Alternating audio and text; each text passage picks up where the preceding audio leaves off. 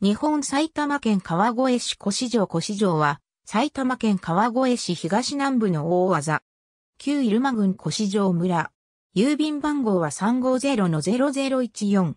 川越市の東南部に位置し、北部を今泉、東部奥下戸、東南部を渋井、富士見市東大久保、新河岸側をまたいだ南部を富士見野市滝、同じく新河岸側をまたいだ西部を富士見野市福岡、東北部を富士見野市川崎と接している。この川崎の一部は新河岸側を越えて東岸に大きく張り出しており、橋を渡らずに往来できる。地域性南辺を新河岸側が流れている。新橋川に沿った低地にあたり、農地、住宅地として利用されている。旧来の集落を含む住宅地は西北から東南に縦貫する富士見川越バイパスより西部の県道沿い及び新河岸川の土手沿いにあり、東部は主に短冊状の水田を中心とした農地になっている。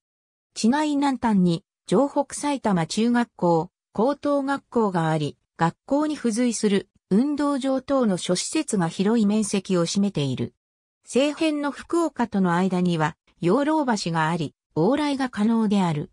西武バスの路線のある東武東上線上福岡駅、または大宮駅、あるいは自家用車などで川越線南古谷駅を利用することが可能である。新河岸川の柏古くは古尾谷橋、千場省に属した。南区ヶ原一号古墳が発掘され、古くから人の居住があったことがわかる。また、和名省における入間郡郡下橋も近隣にあるという説もある。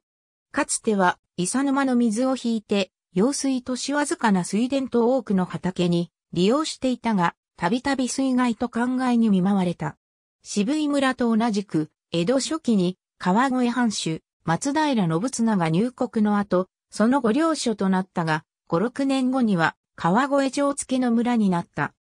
新編武蔵風土機構では夜数60。この時代の商名として玄海、井戸岡、谷、久ぐ久保、柳津穂、はず線、京塚、中道城、笹良久保、立久安、篠原久安、あたけ、出口が挙げられる。江戸時代末期に呉服屋を創業した橋本屋による橋本39楼醤油醸造所が明治中期に建てられ、福岡菓子の対岸にあたる養老橋の東岸に新設された腰城菓子からここで醸造された醤油を新河岸側の周運で輸送していた。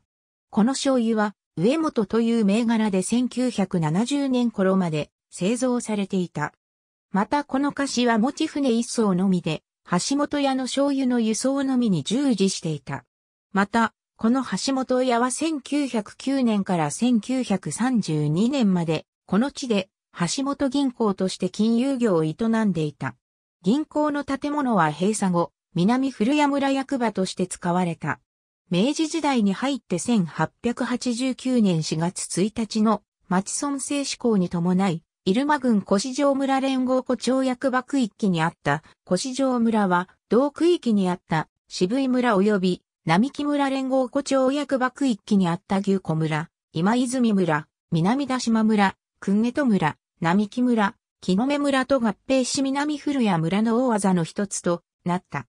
1876年の人口は524人。1955年4月1日、南古谷村は公海村、名細村、霞ヶ関村、山田村、古谷村、大東村、福原村と共に川越市に編入され、越城は川越市の大技の一つとなった。